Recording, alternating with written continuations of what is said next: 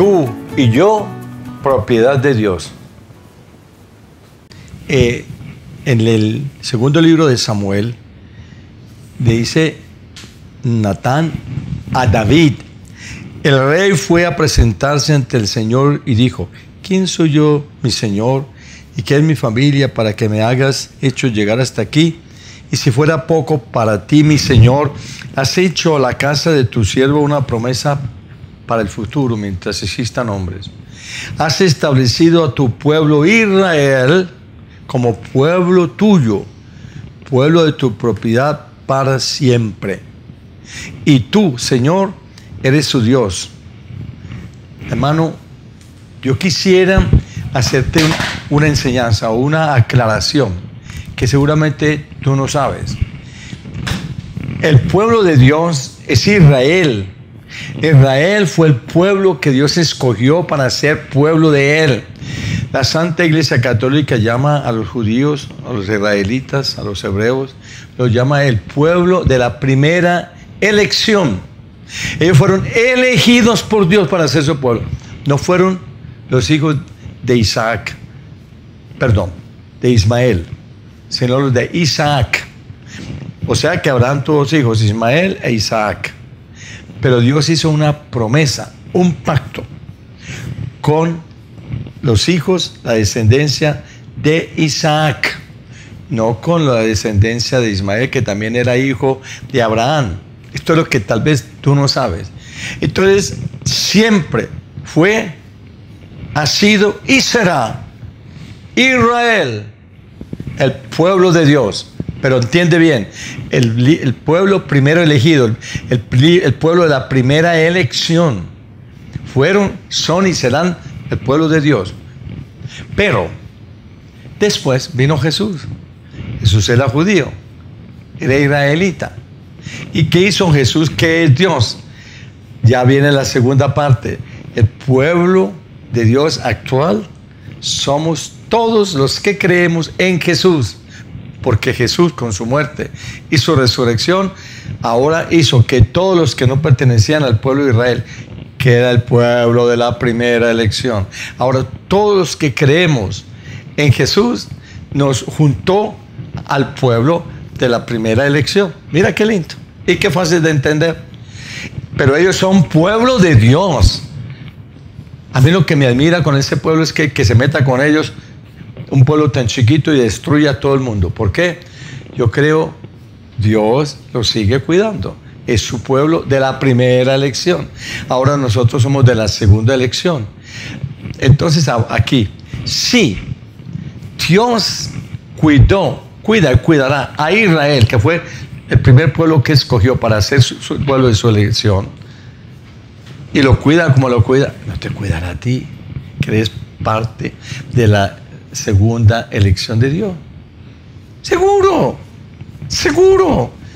Pero es que ese pueblo sabe y vive que son pueblo de la primera elección de Dios y que son elegidos por Dios, pueblo de Dios.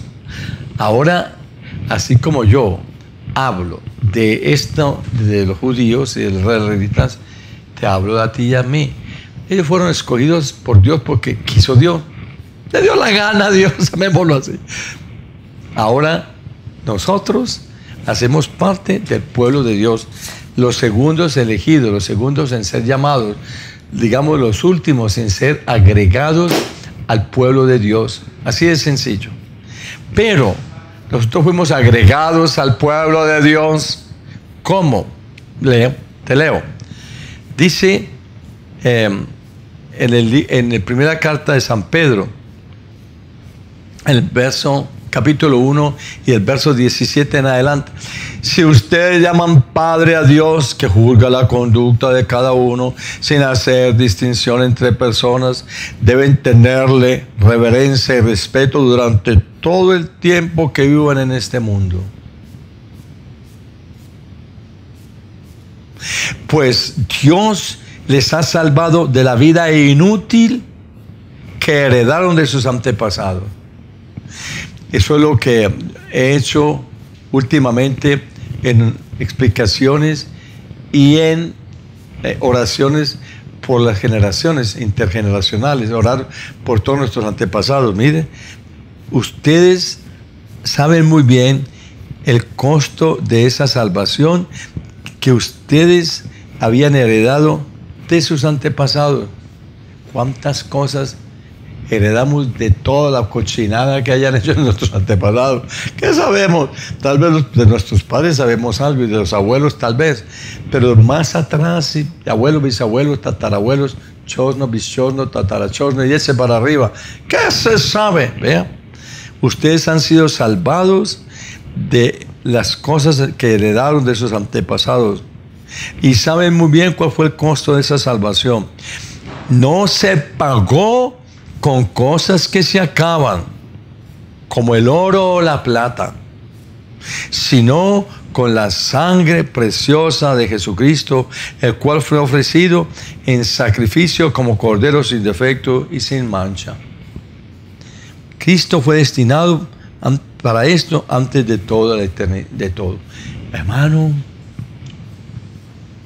el pueblo de Dios lo cuida Dios los primeros y los segundos. Y que tú eres pueblo de Dios, te agregó, como leemos, por la muerte y resurrección de su Hijo. Y te compró con la sangre preciosa de su Hijo. O sea, que tú eres pueblo de la segunda elección.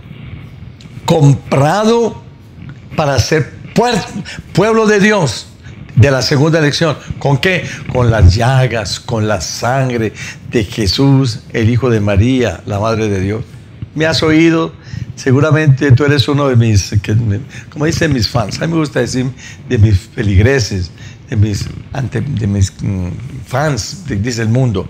Bueno, lo que sea. Sé feligres, sé fan de Jesús que te compró con las llagas y la sangre y con esa pasión tan aterradora.